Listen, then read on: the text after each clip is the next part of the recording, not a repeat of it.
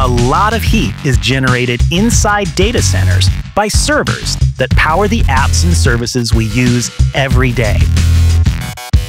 All that heat needs to be removed to keep the equipment running. And that requires cooling systems that use some combination of energy and water. So, how are those two important resources actually used? Data centers use separate systems for cooling the servers, where the heat comes from, and cooling at the building level, where the heat is removed from the facility. For cooling at the server level, there are two main options. Air cooling uses fans and air conditioning to move hot air out and cool air in. The other option is liquid cooling, which is a closed loop system that sends cooling liquid directly over the processing chips inside servers, where it absorbs the heat and then carries it away.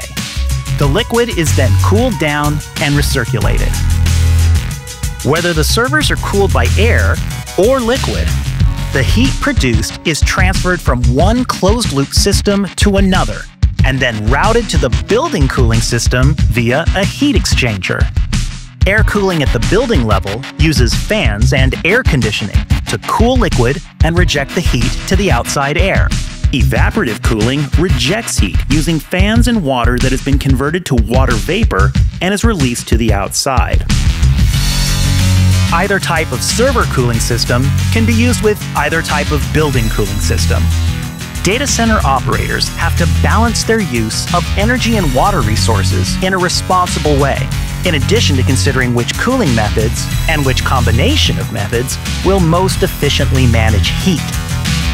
As demand for data center capacity grows, responsible design choices can help support a more sustainable digital future.